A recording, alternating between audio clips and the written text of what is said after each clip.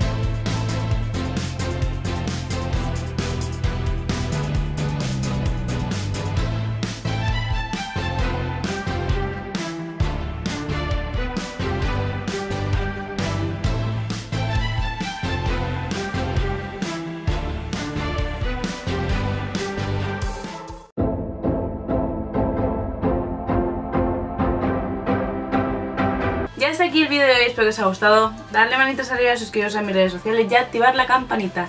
Recordad que todos los lunes, martes y miércoles hay capítulos en Guapa y que aquí todos los domingos a partir de 6 y media. Adiós.